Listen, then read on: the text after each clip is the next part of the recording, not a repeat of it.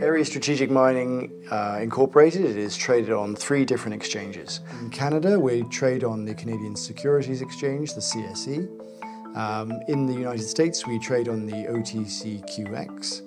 Um, and in Europe, we trade on the Frankfurt Exchange in Germany.